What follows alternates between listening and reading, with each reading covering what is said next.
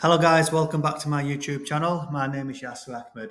So we will continue looking at spreadsheet functions and we are now on lesson 18. So we've already looked at if if statements and VLOOKUPs part one.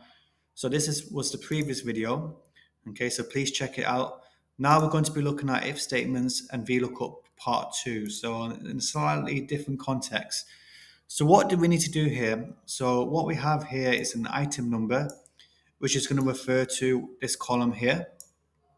Okay, and then this can change at any time. It could re refer to the spring sale amount, the summer sale, winter sale, and then a normal price. So depending on what is here will depend on what uh, price will be outputted here.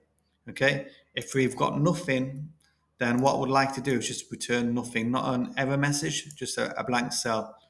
So what we'll do is we'll just keep it a spring cell for now. Okay, and we'll do the task. So it's going to be a long if statement. So let me zoom in. Okay, so equals if. And what we need to do is going to be an if statement based on the cell type. And what we can do is click on this cell and check if it's equal to the contents of these cells here. Okay, so we can click on equals um, this cell.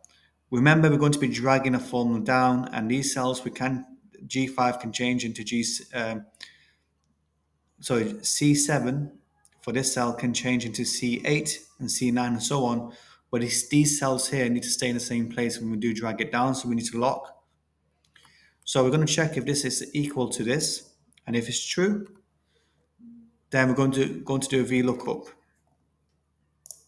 I'm going to look up the item number, comma.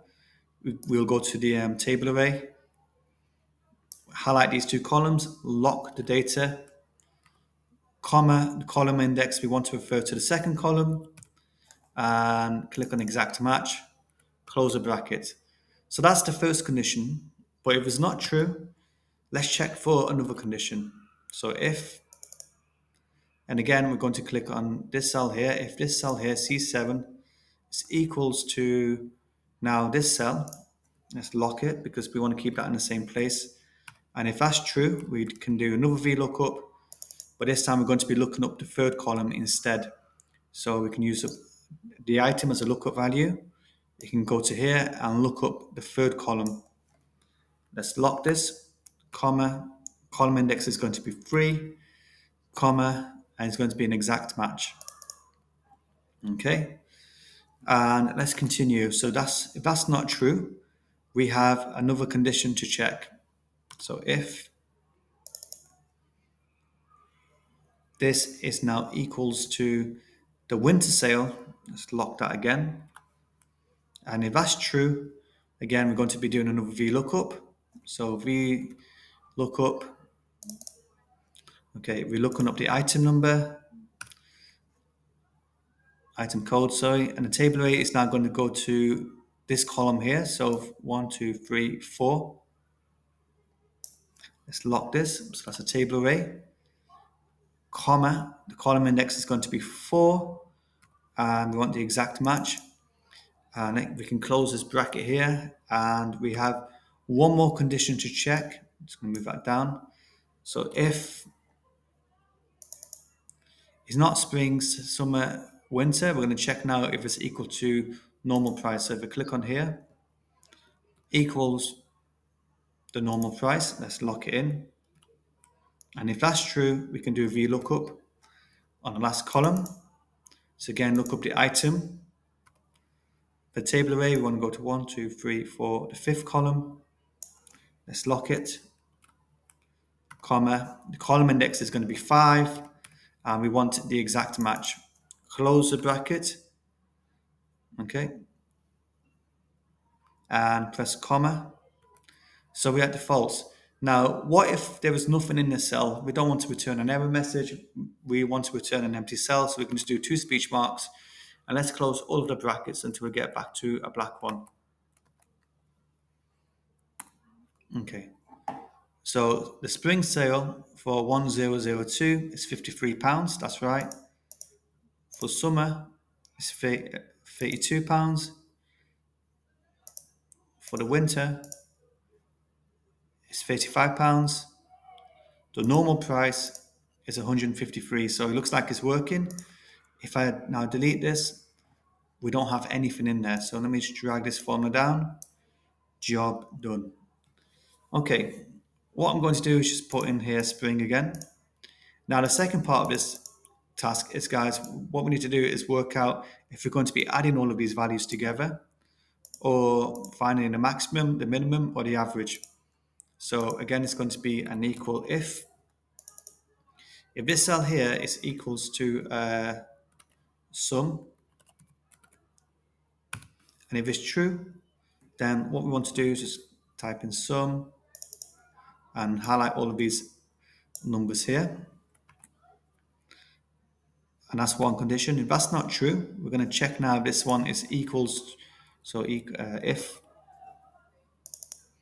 this cell here is equals to, it was max and min, so we'll do max first. And just put it into, whoops. If it's equals to um, max, and if that's true, then we can do the max function now to find the highest value from here. Comma. And let's do the same thing, but do the minimum. So do you know what I'm going to do? I'm just going to copy this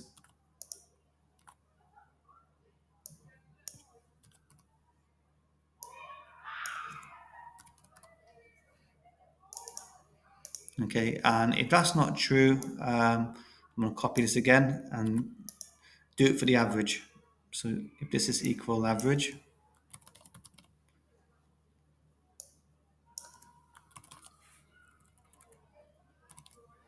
there we go. Um, at default, let's say nothing is in the cell, we can return um, two speech marks to return an empty space. Close all of the brackets, back to a black one, done. So let me just change that to currency. So that's working out the total, okay? Um, if we change that to max, that returns the highest value, which is 163.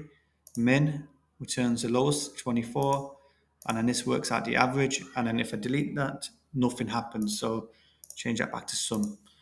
Okay, guys, so what we've done here is, again, we're using if statements and then VLOOKUPs, but obviously this is a little bit more challenging as we have lots of columns to look up to get different outputs.